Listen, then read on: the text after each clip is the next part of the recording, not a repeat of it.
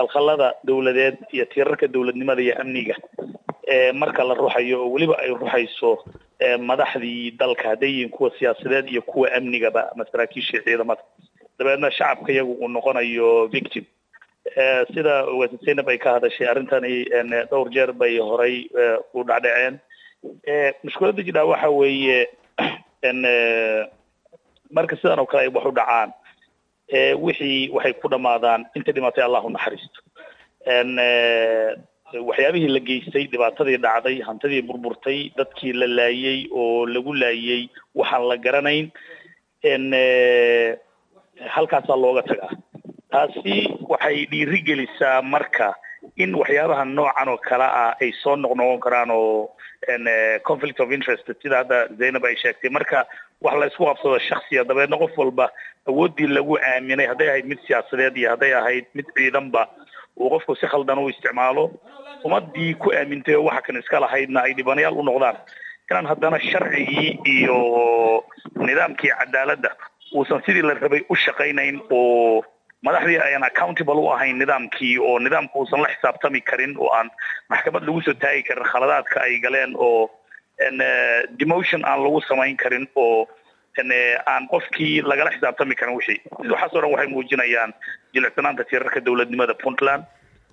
Waxaad moodaa laba nidaam baa awalba isku hoos jiray oo nidaamka dhaqanka iyo ama qabaliga iyo nidaamka dawliga ee casriga waxaad moodaa nidaamka iyaga dawliga ee casriga weli inuu jilicsan yahay oo aanan meeshii la rabay weli aanan gaarin oo gahayr aanu nahay baad moodaa waxay kaloo muujinaysaa mas'uuliyad darrida madaxda siyaasadda iyo madaxda amniga. Waxay kaloo muujinaysaa nidaamka iyaga cadaaladda oo aan sidii la rabay u shaqaynan iyo guud ahaan nidaamka iyaga dawliga waxay kaloo muujinaysaa inaanu u dhaqmeyno qaab aan dawli ahayn oo qaab aan dawli ahayn haddaad u dhaqantana wuxuu kaa noqonayaa mafia style.